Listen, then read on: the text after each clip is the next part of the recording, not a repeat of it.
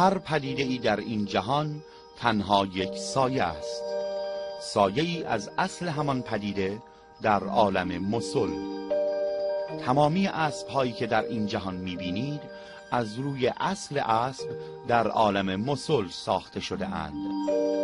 تمامی فیل ها درختان کوه ها موریانه ها و انسان ها ما همگی سایه هستیم.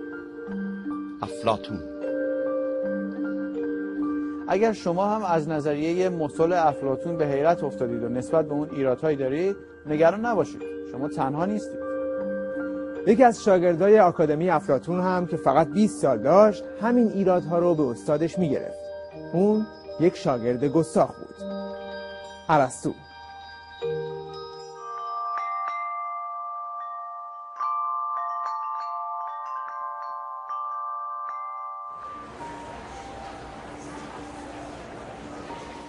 سلام. امروز در هشتمین سمینار دنیای اندیشه انسان هستیم. سمیناری که طی اون تا این برنامه چگونگی و روند تکامل اندیشه بشر در عهد باستان رو بررسی کردیم.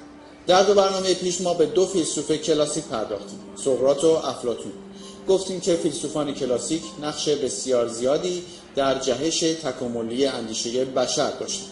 حالا امروز به سومین و آخرین فیلسوف کلاسیک یعنی ارسطو می‌پردازیم.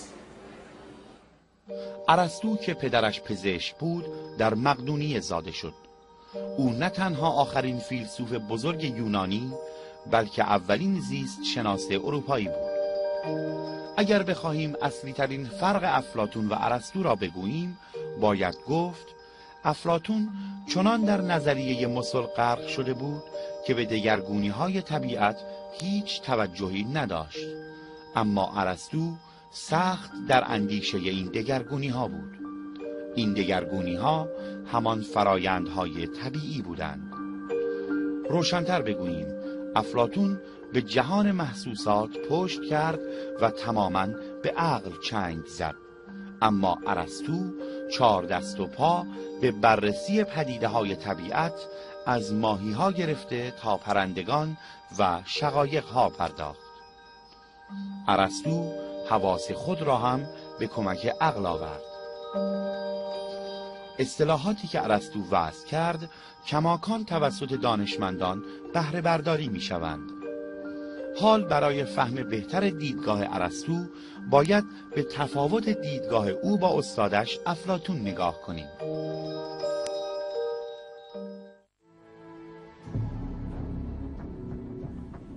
ما باید در میان تمامی دیگرگونی های این جهان در پی عامل جاودانه باشیم. من باور دارم دنیای مسل عامل جاودان این جهان است. استاد با تمامی احترامات اما گمان می کنم شما همه چیز را وارونه می بینید شاگرد به این می‌گویی احترامات این نهایت گستاخی است. تو باید بپذیری که این اسب یک اصل در جهان مسل دارد. آن اصل همان قالبی است که تمام اسبهای جهان از روی آن ساخته می شوند آن قالب اسب همان پدیده است که در میان تمامی دیگرگونی ها جاودان است. استاد تا آنجایی که می‌گویید این اسب دستخوش تغییر است و عمر ابدی ندارد با شما موافقم. اما نه بیشتر. پس تو به چه چیز می‌گویی جاودان؟ به گمان من این صورت واقعی اسب است که جاودان است. اما آن اسب مثالی که شما می‌گویید تنها یک مفهوم است. مفهومی که ما انسانها پس از دیدن شماری اسب در ذهنمان ساخته ایم. مثال اسب برایندی است از ویژگی های اسب. تو این را باید بدانی که تنها وسیله رسیدن به حقایق و اسرار این جهان عقل است. چیزی در جهان نیست که قبلا در عالم مثال وجود نداشته باشد. استاد البته که عقل ممتازترین ویژگی انسان است اما بالاترین میزان واقعیت ادراک با حواس است. باید دید، شنید، لمس کرد، بویید و مزه کرد بعد عقل را هم به یاری گرفت تا به واقعیت رسید. افکار ما همه از راه آنچه دیده و شنیده ایم به زمیر ما راه مییابد. شاگرد اگر می‌دانستم روزی اینطور پی افکار استادت را می‌زنی همان موقع که جوان بودی فلکت می‌کردم.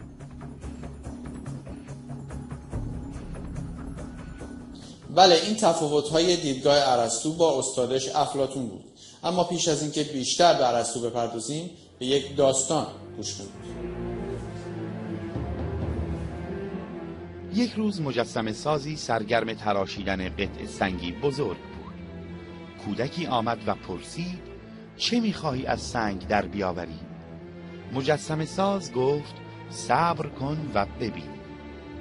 چند روز بعد پسرک آمد و دید که مجسم ساز یک اسب زیبا از سنگ تراشیده است. پسر با شگفتی گفت این سنگ یک اسب است. از این داستان چه نتیجه ای می‌گیریم؟ به تعبیری آن تخت سنگ توان شکل پذیری به صورت اسب را داشت. ارسطو هم می‌گفت هر پدیده در طبیعت استعداد آن را دارد که صورت ویژه‌ای را از قوه به فعل در بیاورد. البته تخت سنگ را می‌توان به هر شکل دیگری هم درآورد. اما اگر بخواهیم دیدگاه ارسطو را به صورت موشکافانه تری نگاه کنیم باید نمونه ای بیاوریم که تنها توان و استعداد تبدیل شدن به یک پدیده مشخص را داشته باشد. نمونه تخم مرغ در این زمینه گویاست. تخم مرغ توان این را دارد که به جوجه مرغ تبدیل شود. اما هیچ تخم مرغی توان تبدیل شدن به جوجه اردک را ندارد. چرا که تنها استعداد و توان تبدیل شدن به مرغ در یک تخم مرغ نهفته است. پس به گفته ارسطو صورت هر پدیده هم گویای امکانات و هم محدودیت های آن پدیده است. ارسطو همچنین باور داشت که هر رخداد یک علت داره. در حقیقت اون رخداد معلول یک علت. یعنی هر پدیده خودش ناشی از یک پدیده یا رخداد دیگه است.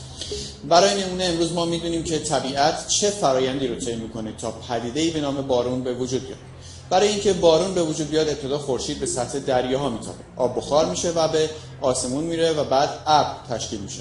هنگامی که درجه حرارت ابرها پایین اومد بخار آب به شکل قطرات آب در میاد. جاذبه زمین هم این قطرات رو به سمت خودش می‌کشه بدین ترتیب بارون پدید میاد. حالا اگه دقت کنید ما تا اینجا سه علت رو برای به وجود اومدن بارون توضیح دادیم. یک علت مادی یعنی خود بخار وجود بخار یکی از علل به وجود اومدن باد دو علت فائلی یعنی به سردی گراییدن بخار. و سه هم علت سوری که در همون ماهیت آب بارونه که میشه فرود اومدن به سمت زمین. اما ارسطو به یک علت چهارم هم برای به وجود اومدن پدیده ها باور داشت. بله برای نمونه در همین مثال بارون ارسطو جدای از علت مادی علت فاعلی و علت سوری از یک علت دیگه هم برای به وجود آمدن بارون نام می‌برد. ارسطو می‌گفت بارون میباره چون حیوانات و گیاهان برای رشد نموی خود به آب نیاز دارن ارسطو این علت رو علت غایی نامید ارسطو به قطره های بارون وظیفه حیاتی یا مقصود می‌داد. ما معمولا این روند رو عکس می‌دونیم به باور ما گیاهان میرویند چون رطوبت آب به اونها می‌رسه. ولی ارسطو می‌گفت بارون اصلا برای این وجود داره که گیاه رشد کنه حالا از این اندیشه ارسطو چه نتیجه می‌گیریم نتیجه این که اون باور داشت پشت هر چیزی در طبیعت مقصودی نهفته است. من یه سوال دارم. فکر کنم که طرز اندیشه ارسطو رو درباره علیت رو فهمیدم.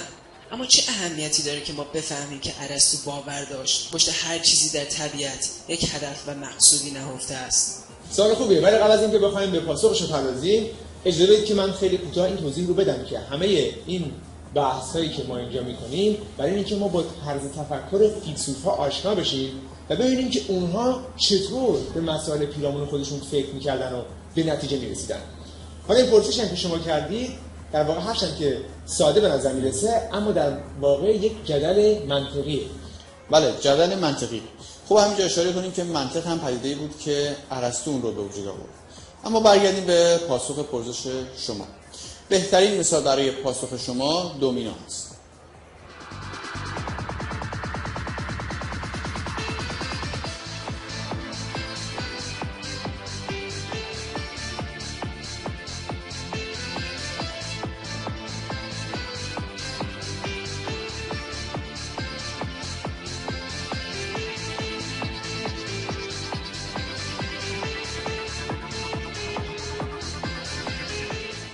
حالا سوال چه پدیده ای عامل حرکت این دومینه ها در تمامیت شد؟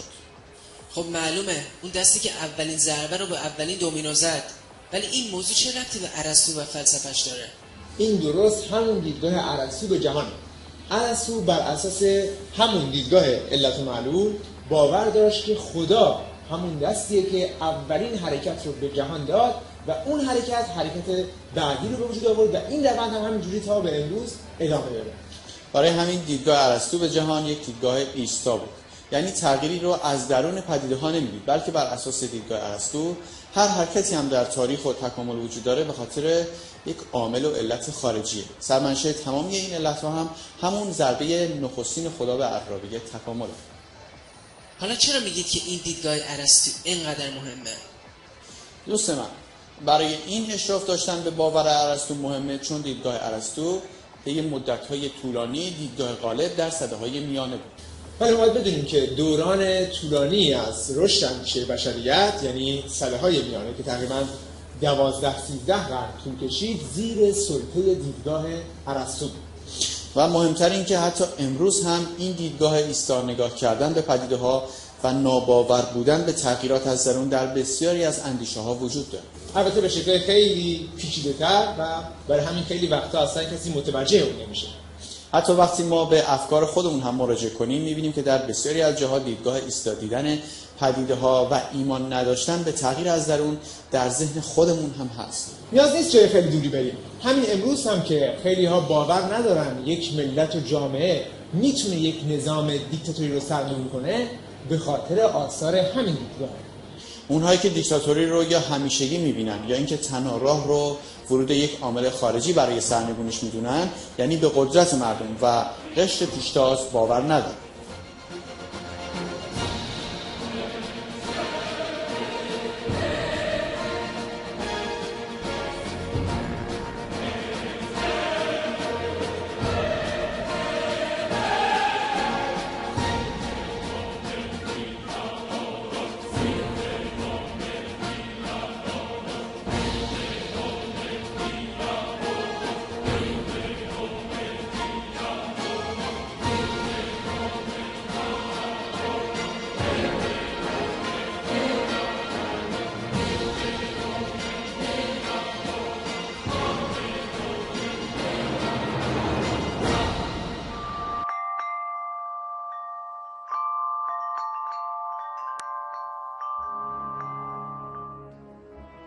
یکی دیگر از کارهای مهم ارسطو بنیانگذاری علم منطق بود.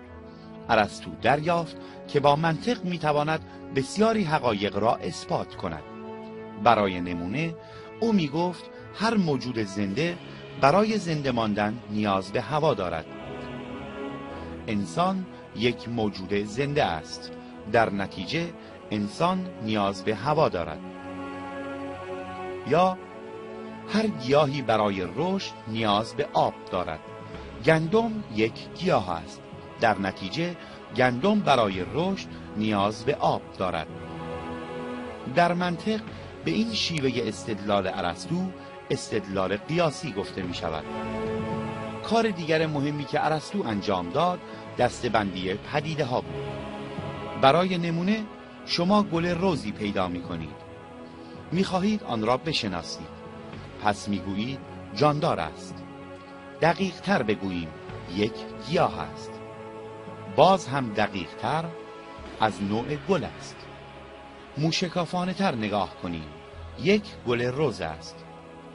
ارسطو تمامی پدیده های طبیعت را به همین شکل دستبندی می کرد این کشف او تا به همین امروز هم برای شناخت پدیده ها بسیار کمک کننده است.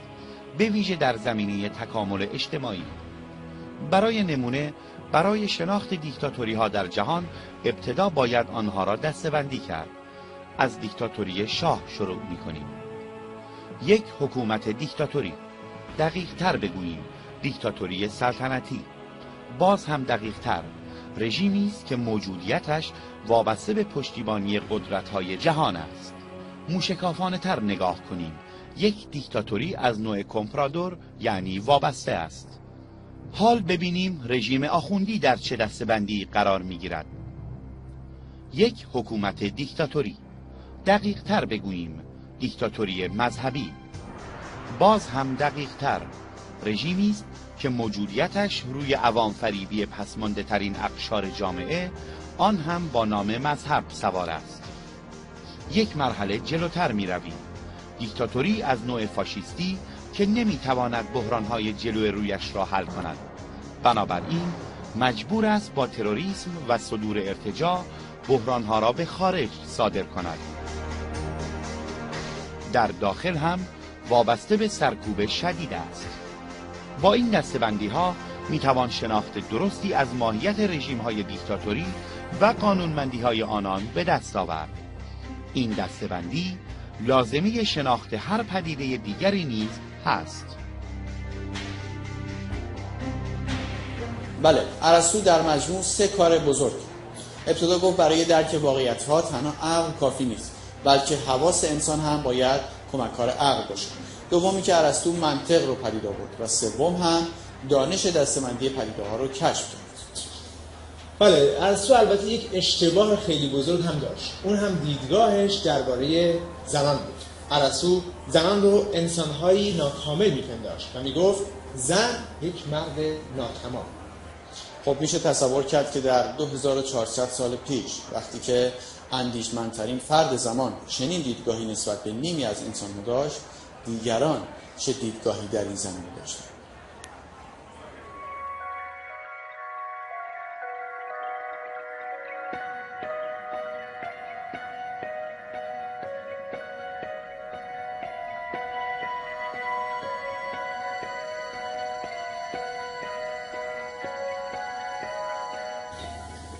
خب دوستان سمینار امروزمون هم به پایان رسید.